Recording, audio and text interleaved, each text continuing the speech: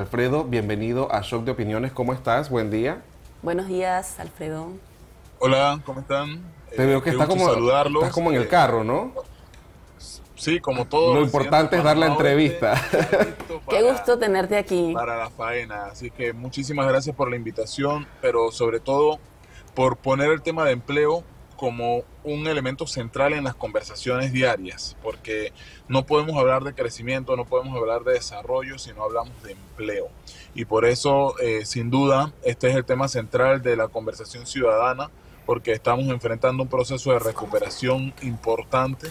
Este año 2024 será de muchos retos más porque tenemos una población eh, que luego de la situación de la empresa minera Panamá también ha perdido sus empleos y que tenemos que ir viendo todo ese proceso de recolocación o de reconversión. Y esta es una palabra clave para hablar de empleo, eh, y, eh, y Einar, la, re, eh, la re- eh, buscar una reinvención, buscar en qué soy bueno para adaptarme a las necesidades del mercado laboral y sin duda eh, serán temas que como ciudadanos, como profesionales también tenemos que analizar internamente. Sí, Alfredo, ayer el especialista eh, laboral nos comentaba que eh, para generar empleos formales, porque el, el- tema que tenemos en Panamá es la cantidad de empleos informales que hay y por tanto de personas que no están cotizando, y él comentaba que es necesaria la inversión pública.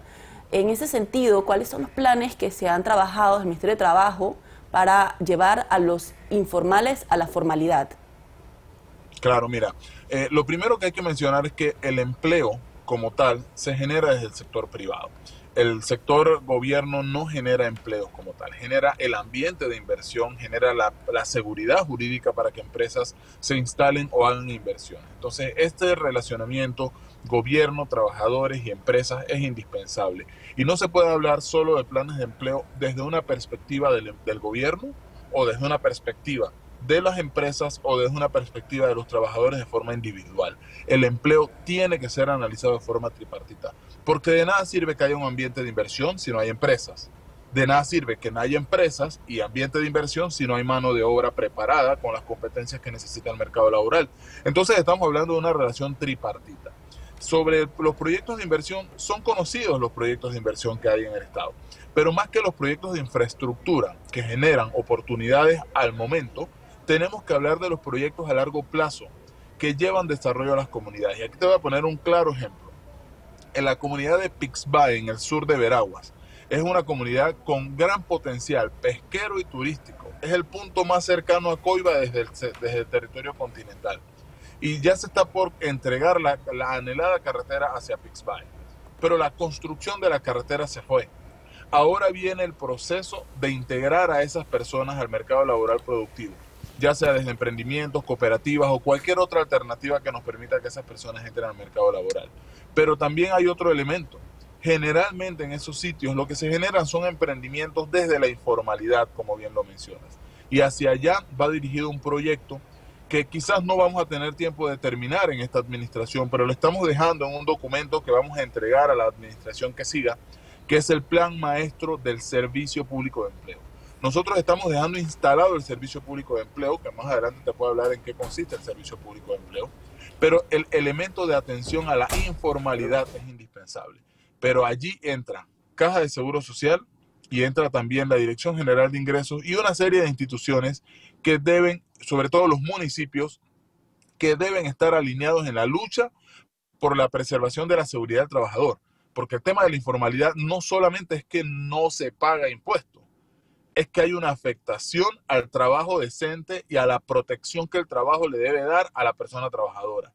Y en el caso de las personas que trabajan desde la informalidad, no tienen acceso a la seguridad social, a la seguridad fiscal, a la seguridad financiera, que son los elementos que como Estado, como instituciones, deben integrarse. Municipio, Caja del Seguro Social, Ministerio de Economía y Finanzas y sobre todo las autoridades locales que son las que se benefician al final eh, de que haya emprendimientos y debemos lograr formalizarlos.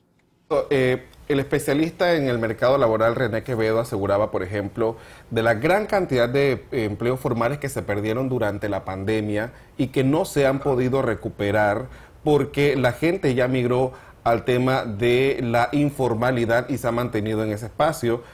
Más de 765 mil personas en el país se mantienen en este renglón de la informalidad. ¿Qué se hace desde el Ministerio de Trabajo para que la gente tenga esa oportunidad de un empleo formal y captar ese sector que ya se ha perdido? Claro, definitivamente. Mira, eh, el tema de la informalidad, primero debo decir que bajó de acuerdo al informe del año pasado en comparación con el año 2022. Eh, eh, bajó la informalidad. Algunos puntos, pero bajó, que es algo muy importante. en ese sentido, también debo decirte que muchas de las personas que fueron a experimentar la informalidad porque empezaron un emprendimiento, lo más probable es que se queden allí. Y ese proceso de informalidad los va a llevar a la formalidad por lo menos en dos o tres años que ellos puedan ir registrando sus negocios, abriendo sus planillas y haciendo las gestiones para que su propio empleo, desde su libertad de horario y su libertad económica, les permita solventar el, mismo estilo de vida que había anteriormente. Por alguna razón, se ha pintado la idea de que el emprendimiento es malo. El emprendimiento no es malo para ninguna economía. Lo que debemos lograr es que esas personas que se levantan todos los días, que van a trabajar, que no faltan, que hacen eh, ingresos económicos y demás puedan tener protección social desde la Caja del Seguro Social, de algún plan de protección voluntaria y puedan tener acceso a reportar renta. Entonces hay que hacer un proceso educativo para que esos emprendimientos se formalicen y esos emprendimientos dejen de estar, eh, digamos que en la lupa negativa de la, de la informalidad y pasen a ver el aporte. Mira, te voy a decir algunos casos, muchas personas, residentes de Panamá Oeste, por ejemplo, eh, que viajaban todos los días a Panamá a trabajar por un salario de 8 a 5. Encontraron la libertad económica y de tiempo en el emprendimiento. Ahora en vez de ser empleados son proveedores de servicios. Ahora en vez de tener, trabajarle a una empresa, le trabajan a cinco empresas. Pero no son empleados, son autoempleados. Este, este, este término del autoempleo lo reconoce a nivel internacional eh, los organismos internacionales relacionados al tema de empleo. Y es justamente lo que nosotros estamos planteando dentro del Servicio Público de Empleo, que se desarrollará a futuro, como te decía, dentro de este plan maestro del Servicio Público de Empleo. Crear esta plataforma de registro de autoempleados, de autotrabajadores, para que de alguna forma puedan tener beneficios fiscales y de seguridad social, pero que promueva el crecimiento de esos pequeños emprendimientos, que a la larga generan impuestos, generan seguridad social, ayudan a generar otros pequeños empleos o, u otros emprendimientos alrededor de ellos y mueven la economía. La microeconomía, pero también esa microeconomía ampliada aporta a la economía nacional. Alfredo, eh, también además de la informalidad, sea otro fenómeno, eh, se hizo, se vio un reporte de la empresa Manpower que dijo que al menos el 64% de las empresas reportó problemas a la hora de contratación. Eh, eso tiene que ver con el talento. O sea, tenemos un problema también de talento en la formación de los jóvenes como profesionales. ¿Cómo se está manejando este tema desde, el ministerio? Bueno, mira, Nair, eh, te puedo decir, hay, eh, a veces es un poco difícil hablar de empleo cuando comparamos las cifras. Eh, y lo primero que debo decirte es que oficialmente no existían cifras oficiales. Manpower es una de las muchas agencias privadas que hay en Panamá que son reguladas por el Ministerio de Trabajo y Desarrollo Laboral. Pero como Estado, como gobierno, no existían cifras de cuáles eran las principales demandas del mercado laboral o qué tenía la mano de obra para ofrecer al mercado laboral. Y era porque no teníamos un servicio público de empleo. Hoy te puedo decir, Neir, desde el año 2023 se trabajó para implementar el Servicio Público de Empleo de Panamá, que es este sitio donde los buscadores de empleo llegan a buscar consejería y ayuda para poder conseguir empleo y las empresas están obligadas a reportar sus vacantes. Este es un tema que va a ser reglamentado en las próximas semanas para cumplir lo que establece el Código de Trabajo, que establece esta oficina o esta disposición desde 1970 y simplemente no se hizo. Ahora este, este, en esta administración hemos logrado implementar este servicio público de empleo. Ya contamos con 15 oficinas a nivel nacional. Pero el gran problema de que no encontramos la mano de obra es porque no sabemos, las empresas no reportan lo que necesitan, no se lo reportan al Estado.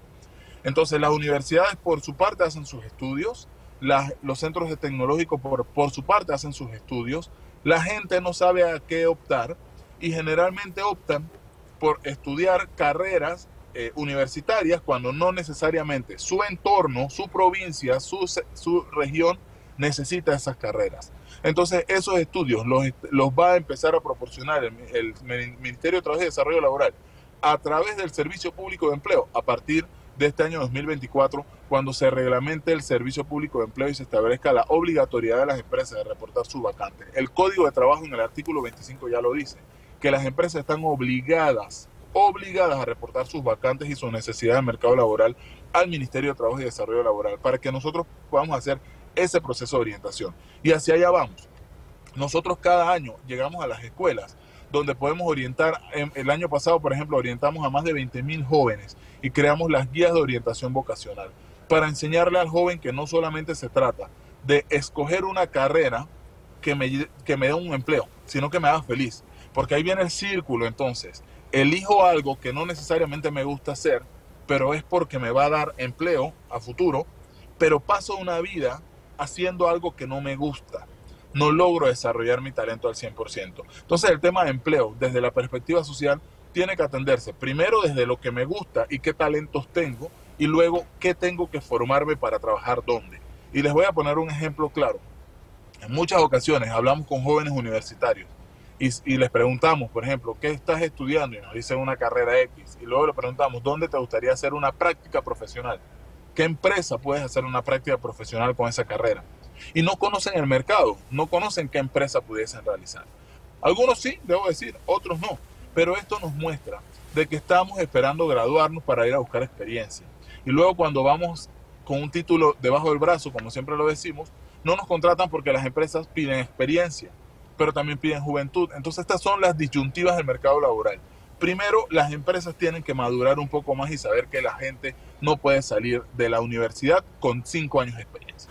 Y por otro lado, los universitarios o los estudiantes de las escuelas técnicas profesionales tienen que saber que no pueden esperar hasta graduarse para buscar experiencia, así sea mediante prácticas, proyectos o de alguna forma tratar de involucrarse al mercado laboral en ese sentido identificar en qué empresa pueden en ese sentido Alfredo eh, precisamente para muchos jóvenes esta pasantía se constituye en su primera experiencia laboral y tal vez la oportunidad de entrar en el campo. ¿Qué programa maneja el Ministerio de Trabajo para que eh, las empresas brinden esa oportunidad a muchos jóvenes que incluso están estudiando para que desarrollen algún tipo de, pasantía con referencia en la carrera que están eh, eh, preparándose académicamente en las universidades? Bueno, mira, efectivamente el programa Aprender Haciendo, que hoy día es una ley de la República y se hizo mediante ley de la República por 12 elementos, porque además de generar la seguridad y la continuidad del programa, también genera un, incentivo fiscal para las empresas que contraten jóvenes luego de haber realizado pasantías profesionales. Este programa no solamente abre la puerta a que jóvenes entren a empresas mediante pasantías laborales remuneradas de tres meses, sino que también le da la oportunidad a las empresas de entrenar a la persona y que el costo de ese proceso de adaptación vocacional no les cueste el 100%, porque el ministerio cubre, cubre el 50% del salario del joven más una póliza de seguro de accidente por el periodo de pasantía laboral remunerada. Con este proyecto, desde el año 2021 a la fecha, nosotros hemos logrado beneficiar a cerca de 800 jóvenes, aproximadamente 800 jóvenes y más que han logrado eh, eh, desde capacitaciones de habilidades blandas hasta procesos de intermediación laboral.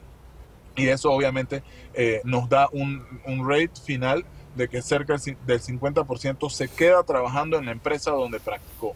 Obviamente tenemos todavía que hacer esto mucho más expansivo a las empresas. Este mes de febrero, casualmente, la misma ministra eh, la licenciada Doris Zapata estará en, en, un recorrido conversando con gremios empresariales en provincias para presentar el proyecto y reiterar que en el Ministerio de Trabajo también hay oportunidades, tanto para las empresas como para los buscadores de empleo, y que estas oportunidades tenemos que utilizarlas. Alfredo, y si yo soy un joven de 17 años que voy a entrar a mi último año de secundaria y quiero eh, estar orientado sobre hacia cuál es la carrera eh, además del talento, donde eh, me puedo desarrollar tomando en cuenta la, época en la que estamos eh, y cuáles son las demandas que tiene el mercado. O sea, cuáles son las carreras o las profesiones o las vacantes o las áreas, perdón, donde hay más demanda, cuáles son las, las que más, las prioritarias, donde hay más, más oferta laboral, perdón.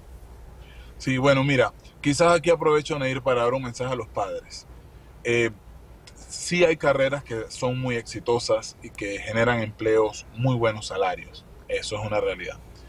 Eh, pero no todas las carreras son para todas las personas. No todas las personas son para ir a la universidad. Eh, algunas personas son técnicas y estudiar en un instituto técnico especializado, en un instituto eh, de, formación técnica como el INADE o como el ITSE, está bien, es correcto, es inteligente formarme en el INADE o en el ITSE si lo que tengo son habilidades técnicas. Y si tengo habilidades académicas o de ingeniería, por ejemplo, ir a la universidad, eso está bien también. Pero debemos, primero que nada, saber en qué somos buenos. Eh, generalmente le, decimos a nuestros hijos, ve a la universidad. Eh, sí, la universidad es una de las alternativas, pero no solamente impulsemos a nuestros jóvenes, a nuestros niños a ir a la universidad, sino impulsémoslo a encontrar qué es lo que los motiva, qué es lo que les gusta, en qué son buenos, en qué tienen talento. Luego, veamos en nuestro entorno qué hay cerca. Por ejemplo, yo no podría decirte necesariamente que para Colón hay grandes oportunidades en el área agrícola, porque quizás hay algunas fuentes de producción agrícola, pero no es el fuerte de Colón. Sin embargo, puede que en Colón haya una persona que ama la agricultura con, lo, con loca pasión y que su, inspiración es, ser, trabajar en la parte agrícola. Y lo más, lo más probable es que esa persona estudie eso y tenga o que implementar una finca en Colón o que buscar alguna forma donde ir a trabajar la parte agrícola en otro lado. Eh, entonces, ver qué hay en mi entorno, en lo que yo pueda necesitar. Por ejemplo, provincias como Panamá, Panamá Oeste, Colón, Chiriquí, eh, la parte marítima portuaria, eh, Coclé también, la parte marítima y portuaria, está generando muchísimas oportunidades. Pero no solamente necesitamos formación académica, sino idiomas, porque el mundo marítimo habla inglés. Eh, por ejemplo, provincias como Colón, Darién, Bocas del Toro, Chiriquí, Veraguas, bueno, casi todo el país, Coclé, Panamá Oeste, tiene muchísimas oportunidades para el campo eh, de turismo. Pero no solamente necesitamos formación universitaria, necesitamos hablarle inglés porque el turismo se maneja en inglés. Y así estas otras habilidades asociadas a la formación técnica o profesional son indispensables. En términos generales, te puedo decir, ¿cuál puede ser un fuerte para Panamá? La tecnología. Necesitamos muchas personas que puedan eh, manejar temas tecnológicos. La parte bancaria pero con una perspectiva eh, de, financista y de prevención de blanqueo de capitales y demás. Necesitamos personas que puedan manejar muy bien el tema turístico, desde la atención a un usuario que es básico hasta la parte administrativa del turismo como tal, la parte marítima portuaria, la parte de cuidado de recursos naturales, el buen manejo de los desechos, el uso del agua, la producción de energías verdes, la electricidad mediante paneles solares, electricidad mediante eh, eh, energía eólica. Todas estas son carreras del futuro, los empleos verdes que se habla mucho. Estas son las carreras del futuro. La aviación es, un, es una carrera de amplio crecimiento, que siempre, a pesar de que la pandemia se detuvo la aviación por un tiempo, el crecimiento de aviación ha sido impresionante, no solo en Panamá, sino en el mundo entero. Y ese es otro elemento fundamental, las oportunidades de formación para el empleo no solamente están aquí localmente, sino que también pueden estar en otros países donde están donde podrían estar requiriendo personal para trabajar siempre y cuando hagamos las cosas con pasión. Esa es una realidad que es un consejo que quizás puedo darle a todas las personas. Alfredo, a eso yo le agregaría a todos los jóvenes que busquen la oportunidad de prepararse a través de las plataformas en línea. Hay muchas plataformas en línea que te ofrecen cursos gratuitos, gratuitos incluso te dan una certificación de que tú realmente obtuviste esa preparación. Así que en, esta era tecnológica hay que buscar esas oportunidades. Muchísimas gracias Alfredo Mitre, director de empleo del Ministerio de Trabajo y Desarrollo Laboral, por acompañarnos esta mañana en Shock de Opiniones. Que tengas un buen día. Gracias, hasta luego y un saludo para todos y todas. Y reiterar, 15 oficinas de empleo a nivel nacional, todas las oficinas de Mitral tienen una oficina de empleo vayamos a registrar nuestro perfil, aunque tengamos un empleo, porque no sabemos cuándo nos salga una oportunidad mejor. Así que 15 oficinas de empleo, el Servicio Público de Empleo en el Ministerio de Trabajo y Desarrollo. Esta es la segunda vez que nos acompañas de manera virtual. Ya, la tercera tienes que estar aquí en el estudio. Cuenten conmigo cuando gusten. Como no, muchas gracias, Alfredo. Hasta luego. Vámonos con información al respecto. Vamos, sí. Hasta agosto de 2023, el desempleo en Panamá se ubicaba en 7.3%, una cifra nada alentadora para el empleo en Panamá, que se enfrenta a una alta tasa de trabajadores informales que pasa ya de las 765 mil personas. En medio de este panorama se encuentra otra realidad preocupante. Un 64% de las empresas reportó problemas de escasez de talento en el país al momento de hacer contrataciones. ¿Cuál es la propuesta del gobierno para convertir a los informales en formales? ¿Y cuáles son las áreas donde hay más necesidades de contratación? En breve, en Shock de Opiniones, hablaremos del tema.